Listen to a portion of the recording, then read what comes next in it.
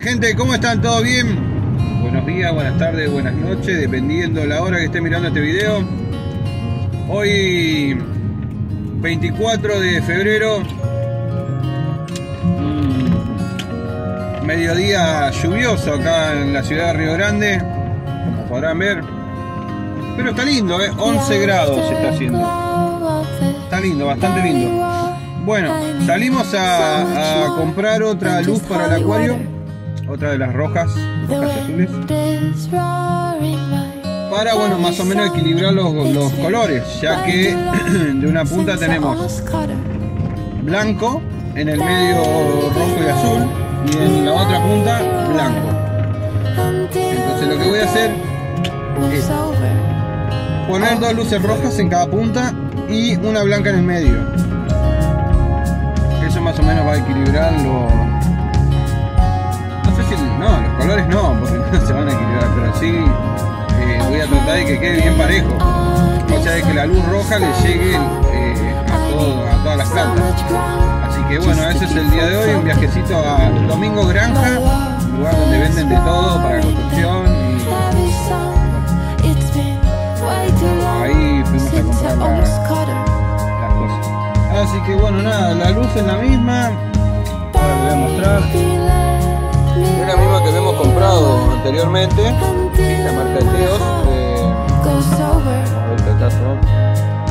luz azul, luz roja, tiene las mismas proporciones que la otra. Y bueno, vamos a, a ver cómo quedan instaladas las dos rojas, como le dije, dos en cada punta y uno de los redondos eh, varios LEDs en el medio. Así llegue más espectro de luz rojo y azul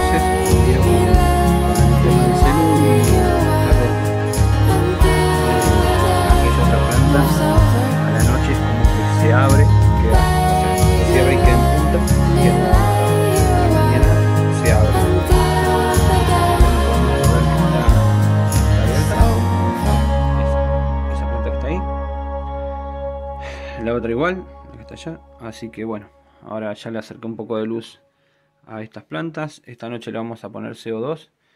Y bueno, nada. Espero que les guste cómo va quedando. Ahora se ve bien. Es la luz que tiene que ir, así que bueno. Depende cómo vaya evolucionando el acuario, vamos a seguir haciendo cambios. Este fue otro video más del ojo acuarista y nos estamos viendo en la próxima. Ah, no se olviden suscribirse. ¿eh? Perfecto. Eh, bueno, como ya se suscribieron y ya compartieron el video, le dieron like, eh, yo me despido. Un abrazo grande y esta noche les enseño cómo hacer eh, CO2 casero y bueno, vamos a instalar, vamos a ver cómo, cómo evoluciona.